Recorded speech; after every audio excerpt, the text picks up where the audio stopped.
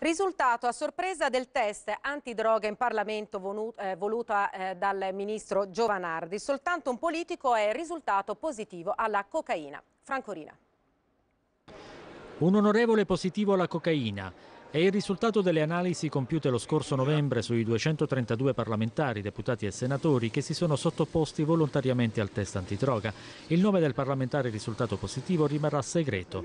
Non si sa né se sia un uomo o una donna né se si tratti di un senatore o un deputato. Personalmente come è stato detto autorevolmente da alcuni senatori o deputati che vogliono presentare disegni di legge per rendere obbligatorio il test per i parlamentari, io sono favorevole a questa ipotesi, ma a legislazione vigente la cosa massima che potevamo fare è appunto questo test volontario per dare ad ogni parlamentare l'opportunità di dimostrare davanti all'opinione pubblica la sua situazione.